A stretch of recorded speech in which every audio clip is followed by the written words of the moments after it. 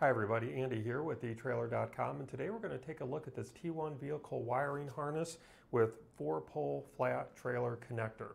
Now this harness is designed to fit the 2021 and newer Chevrolet Trailblazer. To confirm if this wiring harness is going to work for your vehicle, take advantage of our vehicle fit guide on this product page and input the year, make, and model of your vehicle and that fit guide will let you know if this wiring will work for your vehicle. So this harness provides a four-pole flat trailer connector at the back of your vehicle to power your trailer signal lights. It is compatible with 5-pole, 6-pole, and 7-pole adapters, and those adapters are sold separately. And as you can see here, included is this tethered dust cap for this 4-pole flat connector. It's tethered to the housing, so you're not going to lose it. And that dust cap covers those connection points when this plug is not being used. Now the black box here uh, on our harness is the Modulite power converter. And the Modulite ensures that your vehicle's wiring matches that of your trailer. It connects directly to your vehicle's battery to avoid overloading the vehicle's electrical system, reducing strain on your vehicle's wiring system. This harness is designed to connect quickly and easily. What I like about it is you're not going to have to splice any wires, you're not going to have to figure out which wire goes where, no alterations to your vehicle's wiring which could lead to damage or voiding warranties. It's going to be a very easy install and the green side will, the, the side with the green wires is going to go to your passenger side, and this side here with the yellow wires is going to go to your driver's side. Now you will need to locate your vehicle's taillight wiring harness by removing the rear threshold plate, the privacy screen, and some interior covering to access those taillight connectors in your Trailblazer. Then you would separate the taillight connectors, being careful not to break the locking tabs, and then you would insert these T-connector ends between the vehicle's wiring connectors and then lock them into place. And these T-connectors are custom fitted for your vehicle. So they're going to match up perfectly with the connection points on your vehicle and they're going to snap and lock together for a nice, tight, and secure fit. So again, yellow is going to be the driver's side and green is going to be the passenger side. Once you have these plugged in, you will need to make a good ground connection. The ground wire is this white wire, and as you can see here, it has this terminal attached, a terminal ring attached to it, and it does come with a self tapping screw. And so uh, once you uh, find that suitable location, such as your vehicle's frame or cross member, you can use this screw um, and, and secure that ring terminal to that uh, place that would be a good ground. Just make sure that the surface is clean and rust free.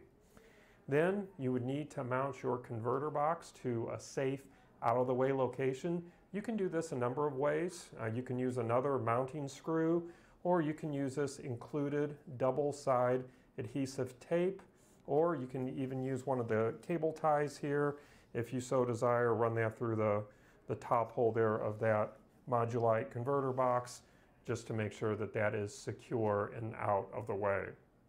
Now the next thing you would have to do is run the hot lead wire, which is this short black wire that's coming out of our Modulite um, power converter.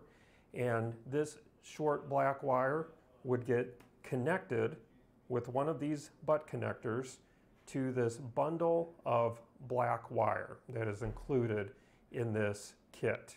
And so once you have our short uh, black wire from our power converter box, from our converter box connected to this uh, bundle of black wire. You would then carefully route the other end of this wire uh, to the front of your vehicle to the battery.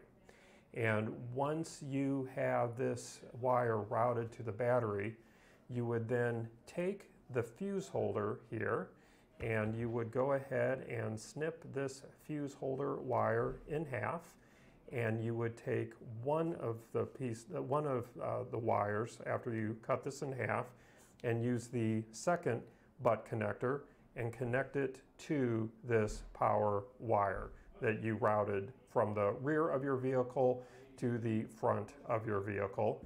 And then you would take the other wire and attach this ring terminal, connect uh, this ring terminal, and then connect that to the positive post of your vehicle's battery.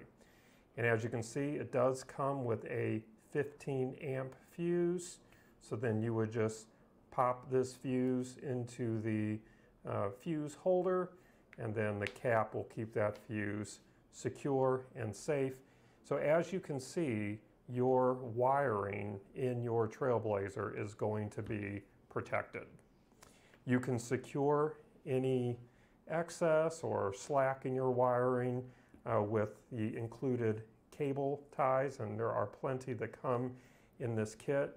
When you are routing your wire from the rear of your vehicle to the front, you just want to make sure that you are staying away from any moving parts or anything that can get hot so as not to damage this wire that's running to your battery.